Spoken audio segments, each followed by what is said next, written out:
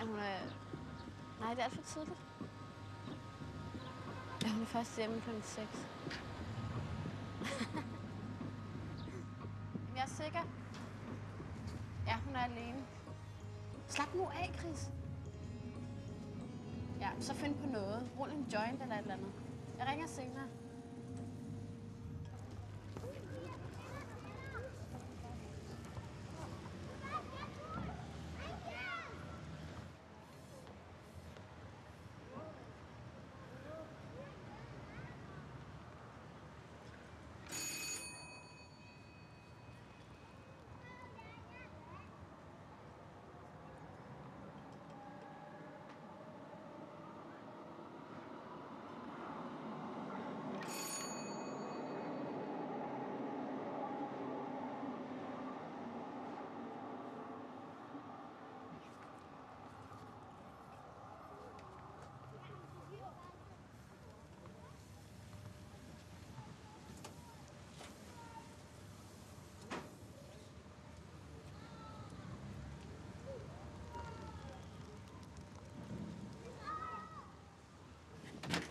Hallo?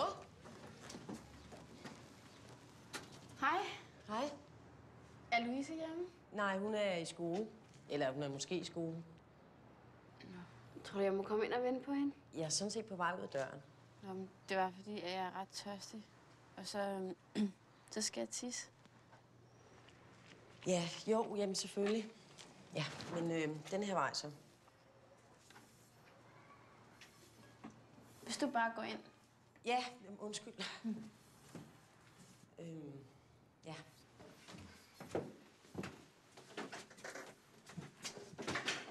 Øhm. Nå, hvad vil du først? Øh, toilettet? Noget at drikke? Jeg måske gerne noget at drikke først. Jamen, du kan bare tage plads der.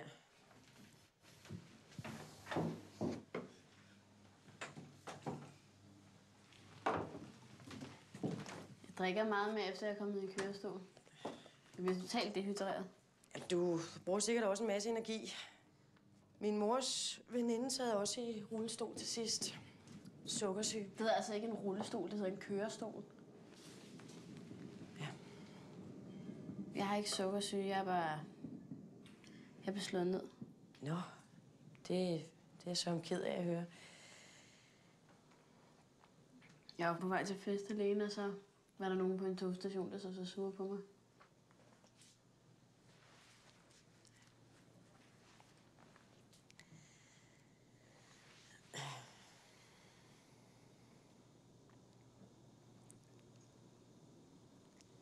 Og jeg får noget mere at drikke. Ja, selvfølgelig, men øh, skulle du ikke låne toilettet? Jo, tak. Jamen, det er, det er lige derhenne.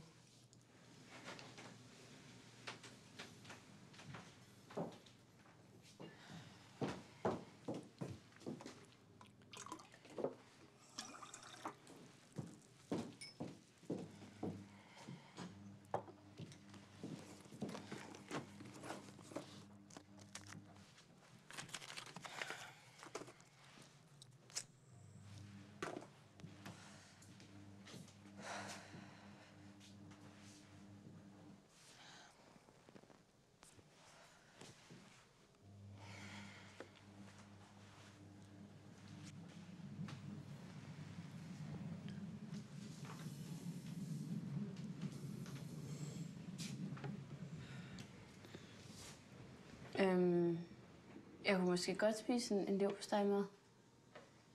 Bare sådan en klap sammen.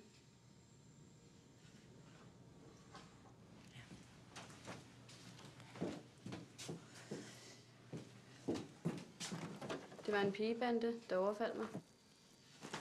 Hvad, hvad mener du, pigebande? Den ene af dem, hun slog mig ned bagfra og stjal min mobil og 175 kroner. Jeg var slet ikke til at holde ud at være på den der station der. Jeg ville da have skyndt mig væk. Ja, det ville jeg også, men det er lidt svært, når man bliver slået ned bagfra. Uh, jeg får helt ondt i maven. Men til deres forsvar kan man jo sige, at de havde jo ikke planlagt, at det lige var mig, de ville slå.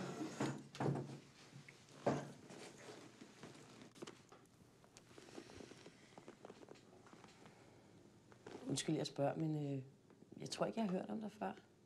Jeg har hørt en masse om dig. Louise snakker altid om dig. Gør hun? Hun fortæller hinanden alt. Går I skole sammen? Louise, hun er god nok. En, man altid kan stole på. Nu kender jeg hende jo ikke lige på den måde, så...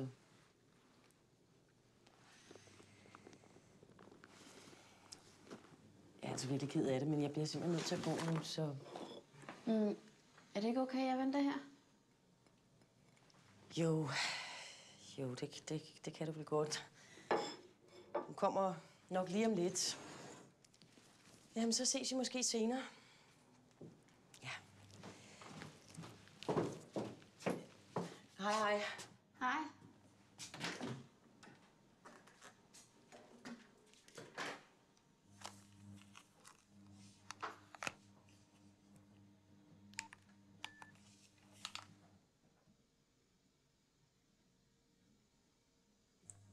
Det er mig. Kom bare.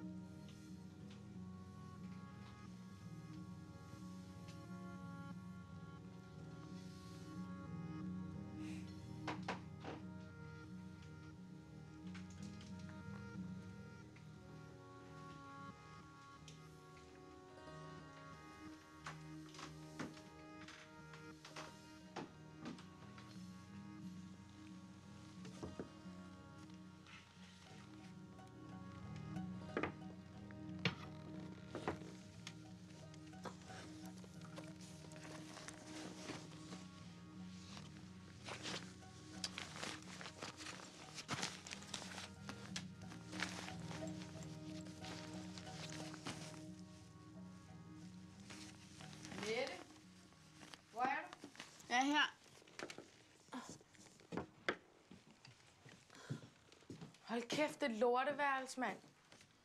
Det skulle være større end dit. Hvad fanden snakker du om, mand? Ej, hvor hun grim, mand. Hun ligner kræfter med min hest. Sker der? Nå, skal vi se, hvad hun hører for noget lort? Ej, Spice Girls. Det gør hun ikke. Ja, hun gør fandme. Må jeg se? Totalt tørt, mand. Hvad siger du til at lægge en ordentlig lort i hendes seng? Nå, jeg går lige ud og pisser en gang. Så Stine, prøv at se her. Hvem fanden gider knippe hende? Han må sgu da være blind.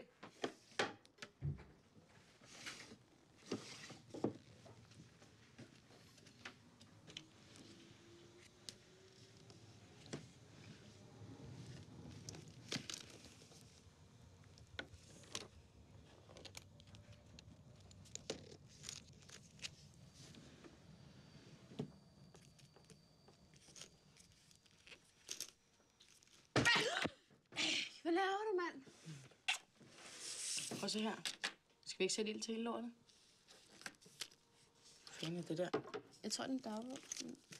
Er den låst? Ja, jeg kan ikke få den op. Sådan. Så er der lidt at læse til dig. Tak. Kæft, mand, så kan man skrive dagbog. Mhm. Står der noget grineren i? Ej, det er det kan vi sgu ikke høre. Absolut let's dance, mand. Og det her. Lort, lort, lort, lort, lort, lort. Hvad så? Gælder for ham? Smart. Mm. Hallo. Smart. Smart. Jo, Nick, what's up? Hallo. Hvad nu, hvad jeg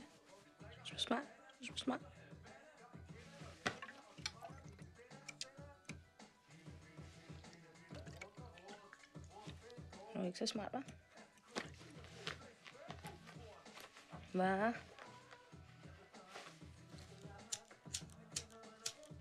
Fuck, noget lort, mand. Kan du ikke lige give mig din lighter?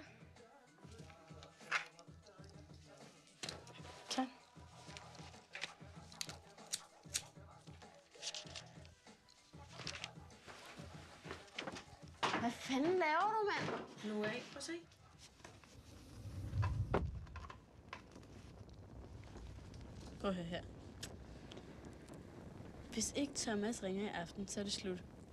Hvis ikke han ringer, så er jeg også pisselig glad med ham. Hvad er det for noget at skrive? Kæft, mand. Ej, står der? Nej, prøv at høre det her. Onsdag den 14. maj. Christian har lige... Okay. Christian har lige været her. Han er rigtig sød. Okay. Han er rigtig god at snakke med. Mor i biografen med en eller anden fra, fra sit arbejde. Jeg tror måske, jeg vil blive lidt vild med ham. Spørgsmålstegn, spørgsmålstegn. Ej, hvad sker der med hende, mand? Fem år. Ja, totalt. Indtil nu har vi bare været venner. Ej, og så blev jeg helt vildt rød i hovedet. og så står han og kigger ned. Ej, hvor hun pervers, man. Fanden gider glo på hendes patter? Thomas? Nej, Christian. Eller var det Kasper? Få gang i bordet.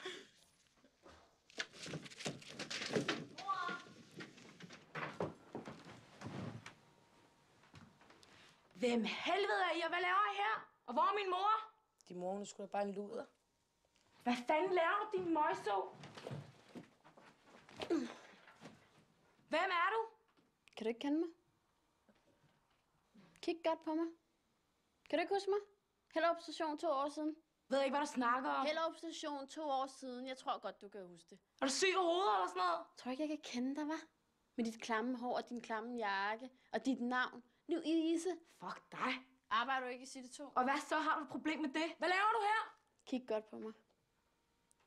Kan du ikke huske mig? Og jeg ringer efter panserne, hvis du ikke skrider. Jeg sgu da huske, at alle de andre råbte, at du skulle holde op. Gider Det du ikke skride? Jeg gider da ikke det her pis. Ud. Jeg gider slet ikke det her. Au, for satan. Prøv at se. Prøv at se, hvad du har gjort. Du går fandme ingen steder. au, au. Au, au, au. Sig undskyld! Gud være dig! Hvad siger du? Jeg skulle da ikke sige undskyld for noget, jeg ikke har gjort. Hvad med du ikke? Vil du ikke sige undskyld, din fucking?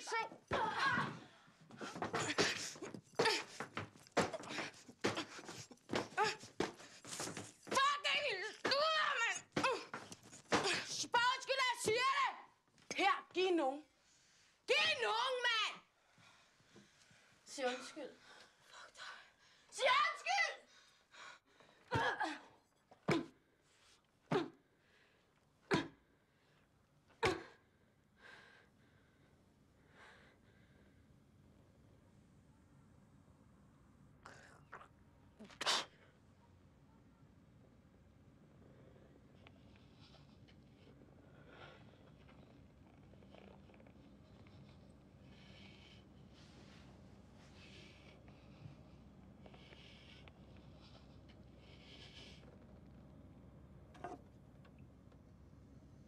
Hvad laver du? Mette, kom. Vi går nu.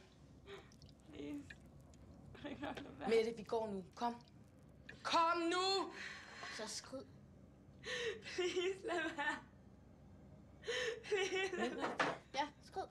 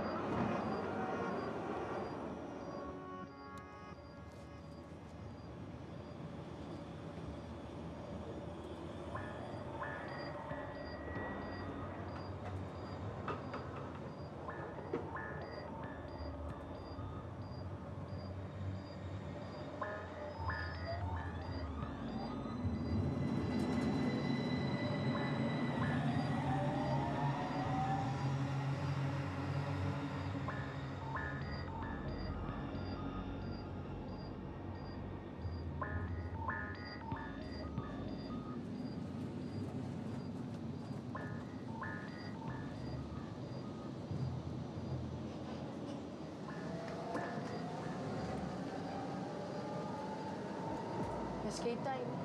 Jeg gjorde det ikke. Det var kun fordi min fucking lighter ikke virkede. Det håber jeg da.